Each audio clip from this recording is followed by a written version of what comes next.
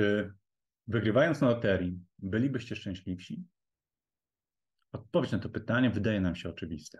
Pewnie, że tak. Niektórzy mogliby powiedzieć: Nie wiem, ale chciałbym to empirycznie sprawdzić. A co na ten temat mówi nauka?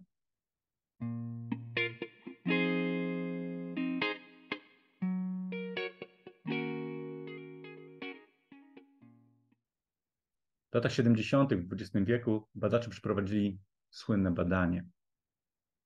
Obserwowali ludzi, którzy wygrali na loterii kilka miesięcy po tym zdarzeniu. Okazało się, że ich zadowolenie z życia, ich radość z codziennej czynności jest taka sama jak osób, które nigdy na loterii nie wygrały. Mało tego, okazało się, że ich zadowolenie z życia i zadowolenie z codziennych czynności było niższe niż osób, które, uwaga, uległy wypadkowi, w wyniku którego straciły władzę w nogach. Gdybym miał wybierać, wygrać na loterii albo ulec wypadkowi, myślę, że wybór byłby prosty. A jednak konsekwencje tego, tych obserwacji, konsekwencje tych dwóch zdarzeń okazywały się po pewnym czasie dokładnie takie same. To badanie sprawiło, że zaczęliśmy się zastanawiać, czy rzeczywiście taka gwałtowna zmiana w postaci dużego przypływu pieniądza wpłynie pozytywnie, pozytywnie na nasze szczęście. To jest pierwsza rzecz. Druga rzecz. Zacząłem się nad tym zastanawiać, więc zacząłem szukać. No i poszukałem najpierw w prasie naukowej, tam było ciężko, a potem w prasie codziennej. Tu było łatwiej. Praca codzienna, w prasie codziennej można regularnie znaleźć taki artykuł, który mówi o tym, jak bardzo nieszczęśliwi byli różni ludzie, którzy wygrywali na loterii. Taki przykład. W książce go sobie umieściłem. William Bad Post trzeci. Nie wiem, dlaczego ktoś się nazywa Bad Post trzeci, ale dobra, mniejsza o to. William Bad Post trzeci wygrał 16 milionów dolarów. 16 milionów dolarów. Na pewno był zadowolony. Tyle, że bardzo szybko jego żona postanowiła się z nim rozwieść, a jego brat, uwaga, wynajął zabójcę po to, żeby odziedziczyć po martwym badzie jego majątek. Inny przykład, Billy Bob Harrell Jr. wygrał 31 milionów dolarów. Po 20 miesiącach od tego momentu już nie żył. Spłukany, kompletnie popełnił samobójstwo. Podobno powiedział on na samym końcu takie zdanie. Wygranie na loterii to najgorsza rzecz, jaka mi się przytrafiła. Nie wchodzę w szczegóły, dlaczego tak się mogło dziać. Natomiast zaczęło mnie to zastanawiać, czy rzeczywiście jest tak, że to wygranie na loterii jest wręcz klątwą. Niesie ze sobą jakąś, jakiś, coś negatywnego. No i potem to do mnie dotarło badanie, na które bardzo często ludzie się powołują i które często jest wspominane na przykład w prezentacjach na TEDzie, było przeprowadzone na no, mniej niż 30 osobach. To tak, jakbyśmy generalizowali w wyniku tego badania na całą, na całą populację świata, to ma się nijak do tego, jak naprawdę jest. Czyli krótko mówiąc, to tak jakbym na podstawie badań mieszkańców małej wioski zrobił wyciągnął wnioski na temat całego kraju albo całej Europy. Więc to jest pierwsza rzecz. Druga rzecz. Przeglądając media, zauważyłem jedną banalną skłonność dziennikarza, mianowicie do sięgania do historii, które już się wydarzyły wcześniej, które były już przedstawione wcześniej. I wtedy to do mnie dotarło. Większość z tych takich przeglądów nieszczęść osób, które wygrały na loterii, to te sam, zawierają te same historie. Niektóre z tych historii miały miejsce w latach 80., 70. poprzedniego wieku.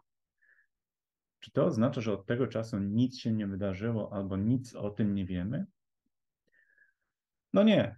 Po prostu dziennikarze wolą pisać. Sam kiedyś pracowałem w mediach, wiem jak to wygląda. Dziennikarze wolą pisać o tym, co jest złe. Wyobraźcie sobie, czy zachęciłoby Was do przeczytania artykułu, zdanie w rodzaju wygrał miliony na loterii, dobrze się prowadził, i uczciwie żył, szczęśliwie umarł. No nie. To, co jest ciekawe, to jest to, że ktoś wygrał na loterii, spłukał się i popełnił samobójstwo. Albo wygrał na loterii, a jego brat wynajął zabójcę po to, żeby go zabić. Tworzymy me, takie mity medialne, które wykrzywiają nasze widzenie rzeczywistości. Badania naukowe też nie zawsze pokazują, jak coś jest powszechne, zwyczajne, normalne.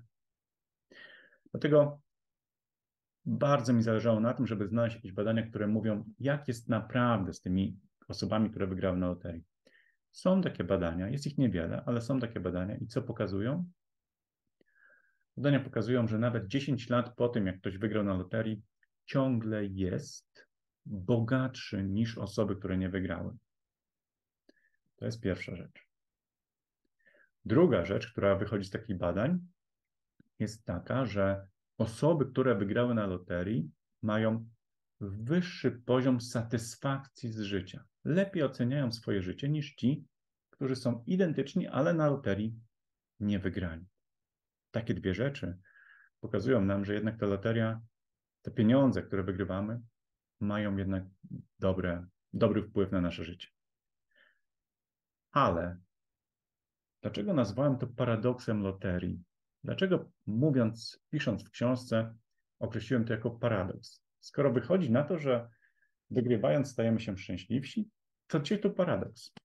Paradoks polega na tym, że kiedy mówimy o szczęściu, musimy rozróżnić dwie rzeczy.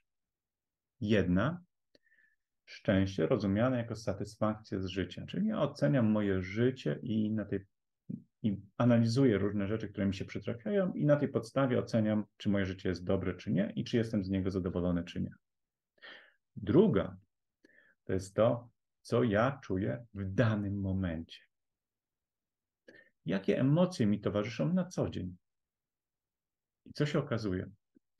Osoby, które są bogatsze, osoby, które wygrywają na loterii, na co dzień wcale nie mają więcej pozytywnych emocji niż ci, którzy są ubożsi. To nie jest dokładnie to, o czym mówię, ale na pewno złapiecie analogię, kiedy Wam powiem tak. Badania, które są przeprowadzane co roku teraz do raportu na temat globalnego szczęścia, mierzą tak zwany dobrostan emocjonalny. Czyli krótko mówiąc, jak często towarzyszą nam pozytywne emocje w ciągu dnia. I co się okazuje? Że ludzie, którym, którzy odczuwają najczęściej pozytywne emocje, to wcale nie są ci najbogatsi Szwajcarzy czy Amerykanie, nawet nie Norwegowie, ale mieszkańcy takich krajów jak Salwador, bardzo biedny, Filipiny, bardzo biedny. W tych krajach odczuwanie pozytywnych emocji jest znacznie powszechniejsze.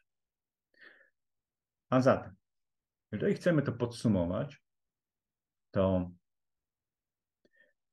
tak, wygranie na loterii może podwyższyć mój poziom satysfakcji z życia. Wygranie na loterii może sprawić, że bardziej będę zadowolony z sytuacji finansowej. Wygranie na loterii nie sprawi, że na co dzień będę odczuwał więcej pozytywnych emocji.